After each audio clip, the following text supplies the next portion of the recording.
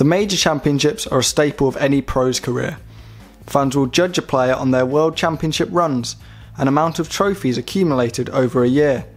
For the purpose of this video, we are looking at the players that have never won a televised tournament, that being in the British Darts Organisation and the Professional Darts Corporation.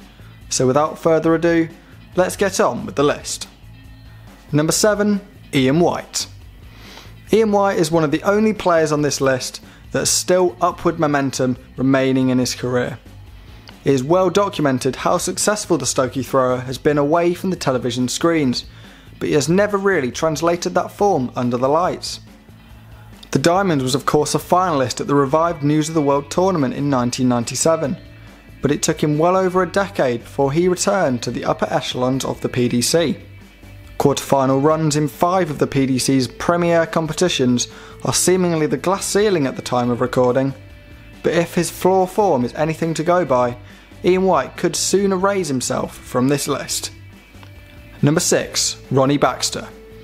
In his 30 years as a professional darts player on the BDO and PDC circuits, fans' favourite Ronnie Baxter never won a televised event.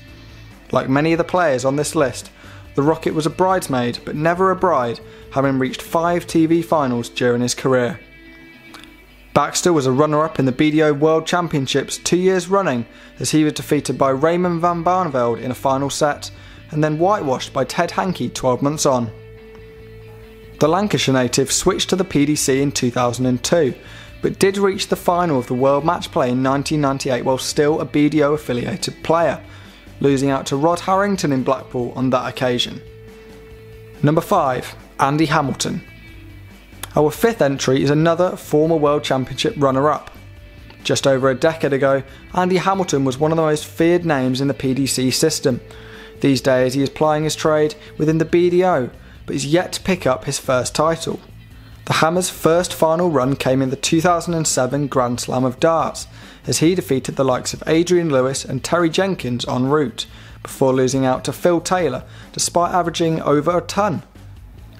Taylor would again be Hamilton's nemesis in the 2013 UK Open final, as the power defeated him 11 4 on that occasion. Hamilton has seen a resurgence in form since switching to the BDO in 2018, and with some additional confidence under his belt, it could only be a matter of time before he's a regular fixture on our screens once again. Number 4. Dave Chisnall. Many people forget how good Dave Chisnall really is when he's up and firing. One of the heaviest scorers in the game, but yet to win a televised event in either organisation. The Yellow Peril burst onto the scene in 2010, coming from practically nowhere to run Martin Adams all the way in the BDO World Championship Final Classic. Chisnall would switch to the PDC system the following year and has never looked back since. Defeats to Phil Taylor in the 2013 Grand Prix and then another final against the Power in the 2014 Grand Slam signalled Chizzy was here to stay. He put in a magnificent performance to push Michael Van Gerwen all the way in the 2015 edition of the Premier League. But despite some excellent performances of late, he's yet to find the consistency to win a major title. But the thing is with Chizzy, you never know what is around the corner. Number 3. Tony O'Shea. The silverback Tony O'Shea has been one of the BDO's top talents for over two decades, and aged 58, O'Shea is still regular on the BDO tour.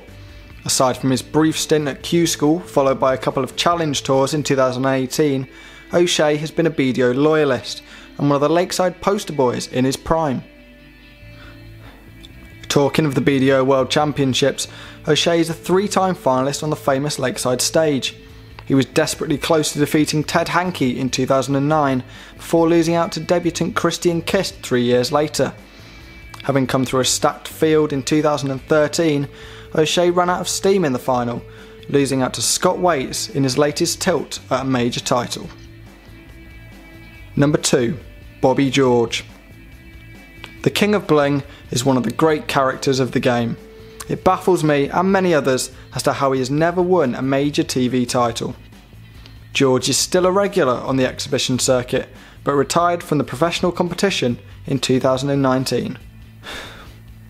In a career that spanned over 30 years, George made two World Championship finals, coming 14 years apart, In his first final, he would be defeated 5 3 by Eric Bristow, taking the loss in excellent spirit as you can always expect from the King of Bling.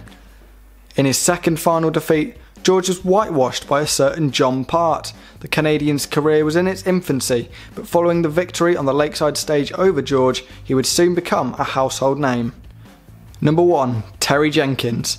Ah, Terry Jenkins, possibly the unluckiest player the sport has ever seen.